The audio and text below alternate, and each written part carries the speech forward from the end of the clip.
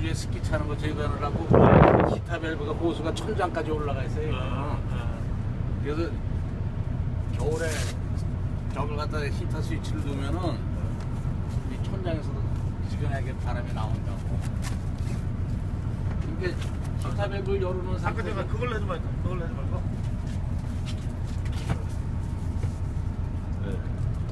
히터 밸브를 열어놓은 상태에서는